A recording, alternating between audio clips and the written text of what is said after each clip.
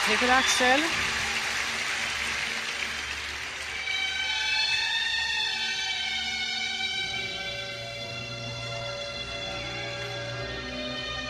Om Det hade räckt med en dubbel så hade det varit en helt godkänd kombination. Trippel axel.